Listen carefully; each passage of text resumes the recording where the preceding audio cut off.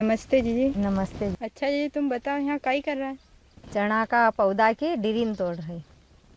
जी तुम ये चना पौधा की डिरीन क्यों तोड़ी रहा चना की डिरीन तोड़ने से डगालना अच्छी फैलेगा और फूल ज़्यादा से ज़्यादा आओगे।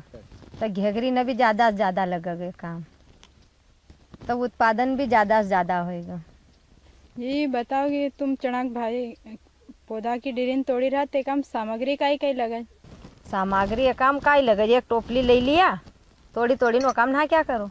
ये का तोड़ना का ले थोड़ा नाखून बड़ा होना चाहिए।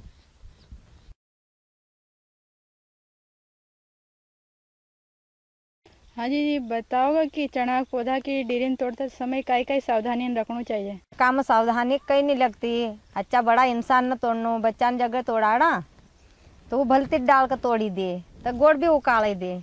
समझदार इस- इंसान न तोड़ना चाहिए तो।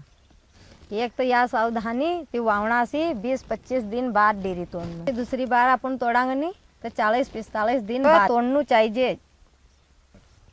जी जी तुम चना की डिरी केना हिसाब से तोड़ो मग जरा बताओगे? अभी हाँ जी जी चना का पौधा की डेरी तोड़ी है तुम देख लियो। यहाँ तोड़ी रही एना तरीका से कौड़े कौड़े डीरी न। तो तुम भी देख लियो ये बालक न जगह हम एकासी न तोड़ाड़ता तो वो गोड़ उकाल दे कहीं भलती डीरी तोड़ दे यानी मेन डीरी छे कौड़े कौड़े वो का तोड़नी है